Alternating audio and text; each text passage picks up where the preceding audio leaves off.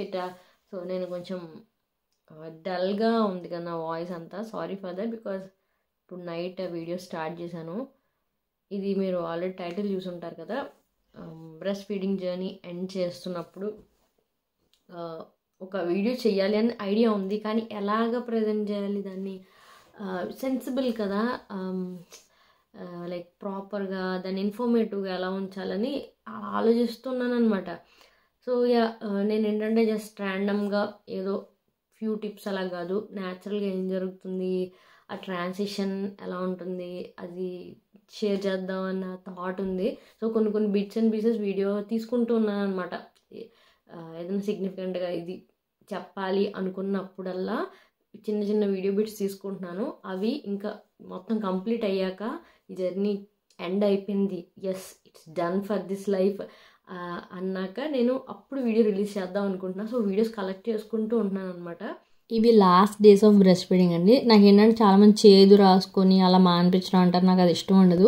So మేము గ్రాడ్యువల్గా వాడు మర్చిపోయేలా చేద్దామని కొన్ని రోజులు ఏంటంటే మా హస్బెండ్ పడుకోబెట్టేవారు. వాటర్ పట్టించడానికి రెడీగా పెట్టుకునేవాళ్ళం. వాడు క్వీన్ అనగానే వాటర్ పట్టిస్తే మళ్ళీ జోగొడితే పడుకునేవాడు అనమాట సో అలా తను ఆల్మోస్ట్ ఒక వన్ మంత్ దగ్గర అలా పడుకోబెట్టుకున్నారు. ఆఫ్టర్నూన్స్ అయితే మా ఫాదర్ హెల్ప్ చేసేవారు అలా పడుకోబడ్డానికి. నైట్ తిన్నా అనమాట ఆ విధంగా నేను నిద్రపోయినప్పుడు కనిపించకుండా ఉండడానికి మేనేజ్ చేసేవాళ్ళం. సో బేబీకి దూరంగా పడుకోవడం అంత ఈజీ కాదు.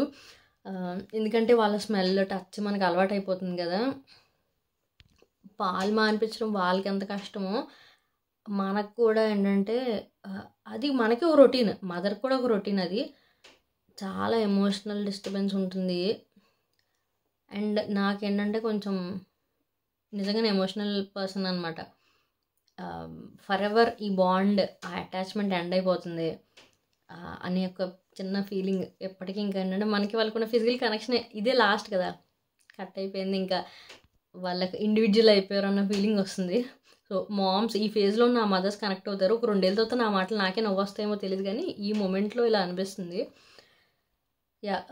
ఫ్యూ వీక్స్ ఇలా నేను వాడికి కనిపించద్దు పడుకున్నప్పుడు అనేది మేము అనుకున్నాం అనమాట నేను ఒక చాలామంది వేపకాయ కొంచెం ఏదో చేదు పడితే అంటారు కానీ నాకు అసలు ఇష్టం ఉండదండి. ఎందుకంటే అమృతంలో తాగిన పాలు ఎక్స్పెక్ట్ చేసి వచ్చినప్పుడు అది చేదు తగలద్దు.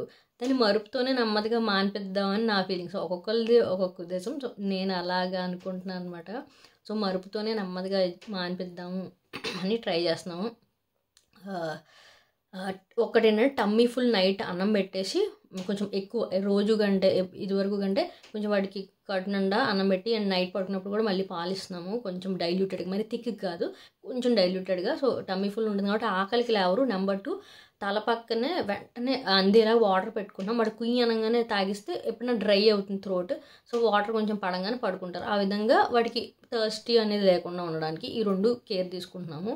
అండ్ ఇంకొన్ని టిప్స్ ఉన్నాయి నేను ఒకసారి మాట్లాడతాను. ఇక్కడ నుంచి లేచి నేను డైరెక్ట్గా ఈ గదిలోకి వచ్చేసాను అనమాట I wanted to share few more things regarding this breast feeding journey so breast feeding మానిపించే విధంలో రకరకాల టెక్నిక్స్ యూజ్ చేస్తాం కదా. అంటే ఫస్ట్ బయట పాలు అలవాటు చేసాము. వన్ ఇయర్ వన్ మంత్ ఆ టైంకి ఇలాగా uh, కొంచెం కొంచెం క్వాంటిటీలో స్ట్రా సిప్పింగ్ ఇది బాగా యూజ్ అయింది నాకు. అండ్ తర్వాత బ్రెస్ట్ పంప్ అనమాట బ్రెస్ట్ పంప్ ఎందుకు అనే దానికి చాలా ఇన్ని బెనిఫిట్స్ చెప్పచ్చు బ్రష్ పంప్ కోసము. అండ్ నేను love lab the adore electric breast pump చెప్తాను. సో మీరు మానిపించాలి అనుకున్నప్పుడు మీకు ప్రొడక్షన్ చాలా ఉన్నప్పుడు అండ్ న్యూ మామ్స్ ఎవరైతే ఆఫీస్కి వెళ్ళాలో కొంచెం చాలామంది సిక్స్త్ మంత్ బేబీ అప్పటి నుంచి ఆఫీస్కి వెళ్తారు డే కేర్లో కానీ ఎక్కడ పెట్టి. సో మీరు అలాంటప్పుడు చక్కగా బ్రష్ పంప్ ఉంటే చాలా సుఖపడతారు. బేబీకి కూడా మన పాలు ఇచ్చినట్టు ఉంటుంది.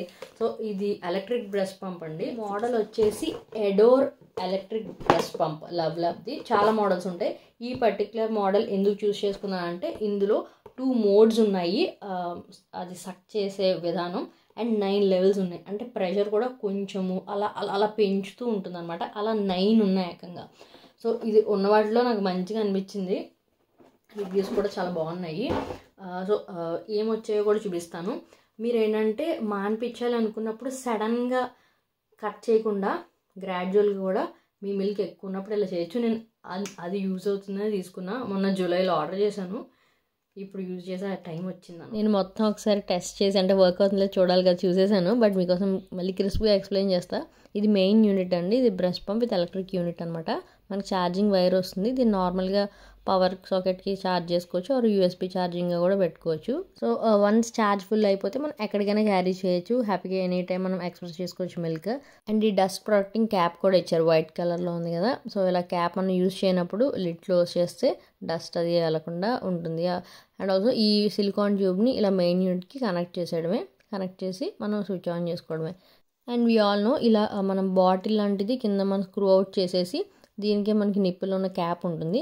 దీన్ని మనం నార్మల్ మిల్క్ బాటిల్ అలా ఉంటుంది. దానిలో డైరెక్ట్గా యూజ్ చేసుకోవచ్చు. సో ఇలా ఎక్స్ట్రా బాటిల్స్ కూడా మనకు దొరుకుతాయి అనమాట దీనికి మోడల్ సెట్ అయ్యేవి. అవి మనకి అమెజాన్లో చూసుకోవచ్చు. అండ్ ఇక్కడేమోని మనకి బ్రష్ ప్యాడ్స్ కూడా ఇచ్చారు రెండు డిస్పోజబుల్వి బ్రష్ ప్యాడ్స్ మనకి ఏంటంటే హెవీ ఫ్లో ఉన్నప్పుడు డ్రెస్ అది ఉండడానికి యూజ్ అవుతుంది. అండ్ కొన్ని ఇంపార్టెంట్ థింగ్స్ ఎక్స్ట్రా ఇచ్చారు.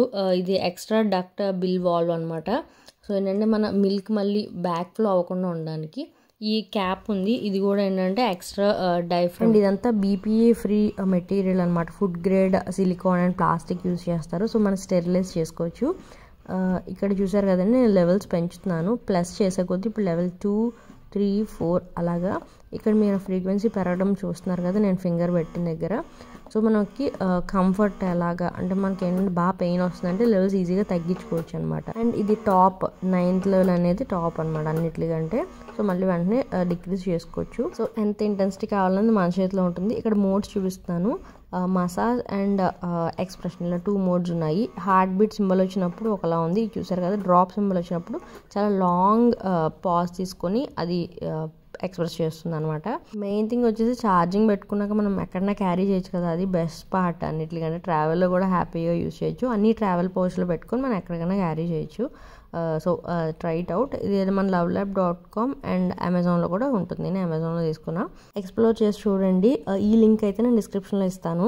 అండ్ అసలు బ్రష్ పంప్ ఎన్ని రకాలుగా వాడచ్చు? బ్రష్ పంప్ ఎన్ని రకాలుగా యూజ్ అవుతుందంటే నెంబర్ వన్ బేబీ పుట్టంగానే um, లైక్ వాళ్ళు కొంచెం ఫీవర్ ఉన్నప్పుడు అప్పుడు కొన్ని కండిషన్స్లో కొంచెం దూరం ఉంచుతారు. అలాంటప్పుడు కానీ లేకపోతే నిప్పులు ఇన్వర్టెడ్గా ఉన్నప్పుడు మనం డైరెక్ట్గా బ్రెస్ట్ ఫీడ్ ఇవ్వలేం. నెంబర్ త్రీ కొంతమంది బేబీస్ వెంటనే సక్ చేయరు. అర్జున్ టు త్రీ డేస్ చాలా ఇబ్బంది పడ్డాను. నాకు అప్పుడు ఎవరు చెప్పలేదు. అంటే ఎనిమిదేళ్ళ క్రితం చాలా తక్కువ అవేర్నెస్ ఉన్నాయి వాటి కోసం. అసలు షాప్స్లో బ్రష్ పంప్ దొరికేది కూడా కాదు కొన్ని కొన్ని దగ్గర అయితే సో అలా బేబీ తీసుకోలేని పొజిషన్ నిప్పులు పట్టుకోలేరు.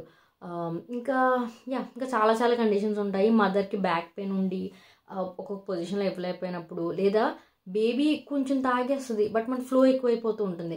అప్పుడు కూడా మనం బ్రష్ పంప్ ద్వారా చక్కగా దాన్ని తీసేసి బాటిల్లో ఉంచుకొని దాన్ని నెమ్మదిగా ఫీడ్ చేయడమో లేకపోతే బేబీ తీసుకోలేని పరిస్థితిలో newborn two three months age అప్పుడు ఎక్కువ ఎక్కువ వాళ్ళు తీసుకోరు కదా బట్ చాలా ప్రొడక్షన్ ఉంటుంది. అప్పుడు మనం బ్రెస్ట్ మిల్క్ ఎక్స్ప్రెస్ చేసి చక్కగా డొనేట్ కూడా చేయొచ్చు. ఇన్ని రకాలుగా బ్రెస్ట్ పంప్ యూజ్ అవుతుంది. ఏం కావాలమ్మా? ఏం కావాలమ్మా ఆదిత్య? పాపు ఇక్కడ పాపు ఎక్కడ? కావాలి? పాపు పాపు ఏం చేయను నేను? పాపు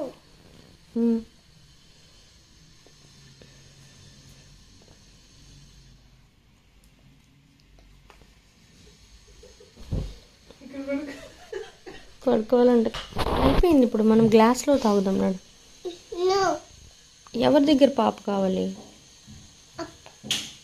అప్ప.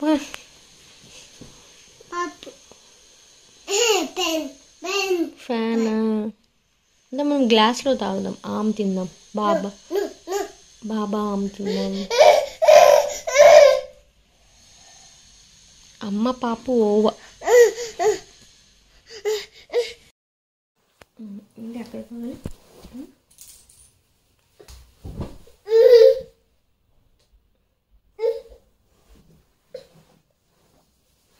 బాగా తండ్రి కదా ప్లీజ్ డా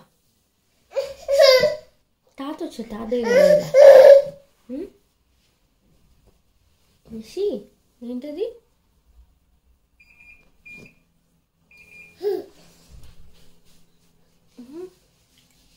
వేసేసావా ఇది ఒక ర్యాండమ్ మార్నింగ్ క్లిప్ అనమాట చెప్పాను కదా నైట్ మా హస్బెండ్ పడుకోబెట్టుకుంటున్నారని చెప్పి. నేను ఇంకో రూమ్లో పడుకుంటున్నా.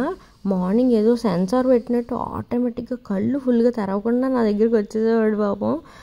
ఒక చెప్పగా మోస్ట్లీ త్రీ వీక్స్ అరౌండ్ ఇలా చేసాము వచ్చి అప్పుడు పాపు పాపు అని అడిగాడు అనమాట అంటే వాడు మర్చిపోలేదు. చాలా కష్టమైందనమాట. ఈజీగా మర్చిపోతారు కొంతమంది. ఒక నాలుగైదు రోజుల గ్యాప్లో అర్జున్ అప్పుడు అలాగే అయింది. బట్ వీడైతే ఆల్మోస్ట్ అసలు ఎన్నాళ్ళు నన్ను పట్టుకొని పాపు పాపు పాపు అంటే గ్లాస్లో ఇస్తాను మనం మార్నింగ్ ఇలా తాగాలి అని క్లియర్గా చెప్తూ ఉండేవాళ్ళం. వాడికి అర్థమయ్యే వరకు బట్ ఏంటంటే అలా అడగంగానే ఏంటి వెంటనే ఇవ్వకుండా తీసుకొచ్చి డైవర్ట్ చేసి బ్రష్ చేద్దాం రా. కొంచెం ఎగ్జైట్ చేసేవాడిని. డై సి డైవర్షన్ ఈజ్ ద కీ కొంచెం డైవర్ట్ చేస్తూ పనిలో బిజీ పెడుతూ ఉండాలి కదా. సో లేకపోతే లేదు బ్రష్ చేసుకుందాం రా. వాడికి ఇష్టమైనది ఏదో ఒకటి చెప్పి లైక్ దోశ తింటాం లేకపోతే బయటకు వెళ్దాము ఫాస్ట్గా రెడీ అయితే ఇలా చెప్తూ ఉండేవాళ్ళము. సో అప్పుడు ఏంటంటే కొంచెం ఎగ్జైట్ అయ్యి ఇలా తల తిప్పి వచ్చేసేవాడు అనమాట అండ్ పాలు కూడా చెప్పక ఇందాక గ్లాస్ చూపించాను. ఆ గ్లాస్లో నిండా ఇచ్చేవాళ్ళం. ఎందుకంటే ఆల్మోస్ట్ వాడు టూ ఇయర్స్ కాబట్టి ఇంకా అలా ఫుల్ గ్లాస్ మిల్క్ అనమాట నాకు ఏంటంటే ఆల్మోస్ట్ ఇంకా సెకండ్ ఇయర్ వస్తున్నప్పుడు తగ్గింది ఫ్లో. నాకు ప్రొడక్షన్ చాలా స్లో స్లోగా తగ్గుతూ వచ్చింది. నేను ఏంటంటే ఓన్లీ ఇన్ని ఇన్నాళ్ళు ఇవ్వాలి ఇన్నాళ్ళు ఇస్తే మంచిది అదంతా కాదు. నేను నా ప్రొడక్షన్ చూసుకున్నాను అనమాట బాగుంది అన్నంతకాలం కంటిన్యూ చేద్దాము బట్ టూ ఇయర్స్ లోపల ఆపుదామని నా మైండ్లో ఉండేది. అందుకని అదే ఫాలో అయిపోయాను. బట్ ఏంటంటే ఎయిటీన్ మంత్స్కి ఫిఫ్టీన్ మంత్స్కి I use to have nice milk production ఇందాకలో చెప్పాక బ్రష్ పంప్ అందుకని ఆ- ఆ ఫేజ్లో యూజ్ అవుతుందని తీసుకున్నాను. ఇంకొక అపోహ ఏమిటంటే వన్ ఇయర్ ఆరల్స్ కొన్ని నెలల తర్వాత బ్రష్ మిల్క్ ఇంటెన్సిటీ తగ్గిపోతుంది. ఐ మీన్ న్యూట్రిషన్ ఏమి ఉండదు జస్ట్ ఏదో మంచినీళ్ళు లాగే వాళ్ళు ఏదో వాళ్ళ సాటిస్ఫాక్షన్ కోసము కనెక్షన్ కోసమే తాగుతారు తప్ప దానివల్ల ఏం ఉపయోగం ఉండదని కొంతమంది అనడం మనం వింటుంటాము.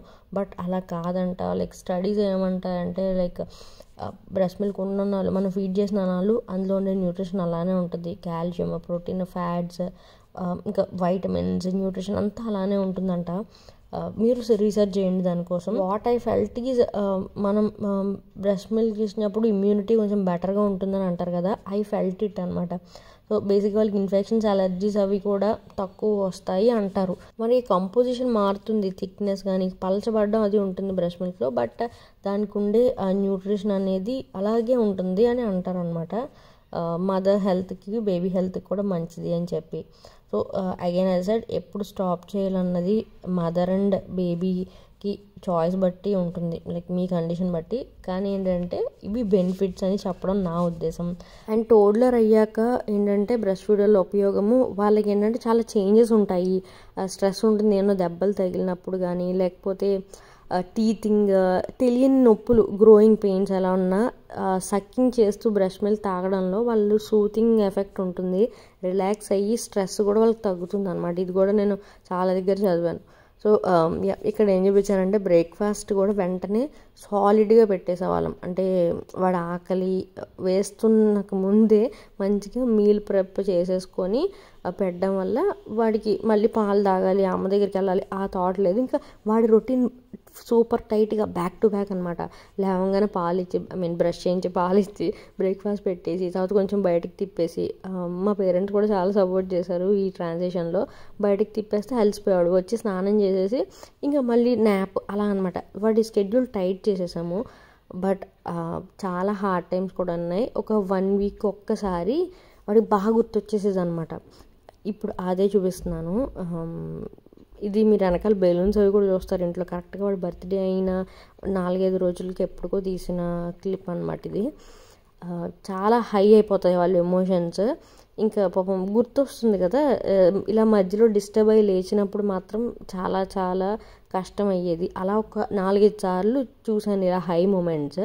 దాన్ని ఎలా హ్యాండిల్ చేసానో కూడా ఇప్పుడు చెప్తాను.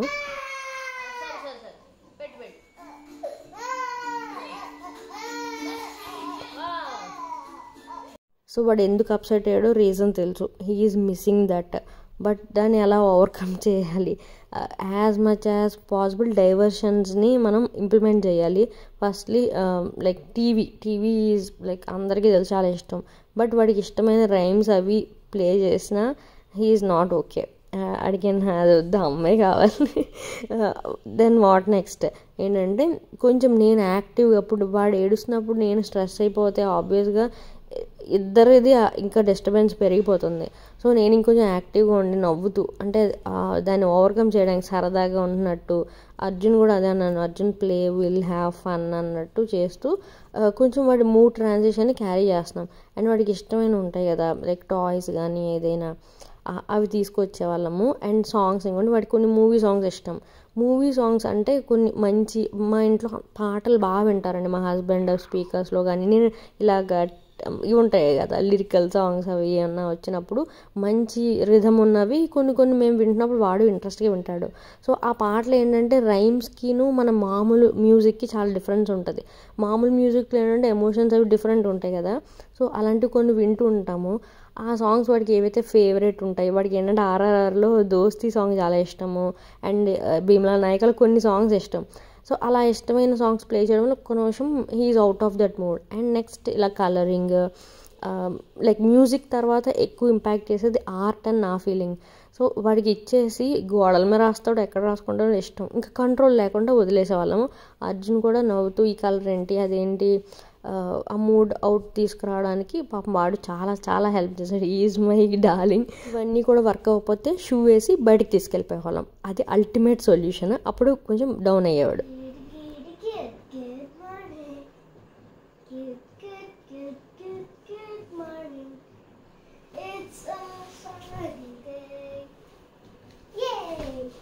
Good morning చెప్పానికి so as I said it took me more than three weeks వాడు హ్యాపీగా లేచి ఇంకా పాలు కోసం మాట ఎత్తకుండా మర్చిపోవడానికి.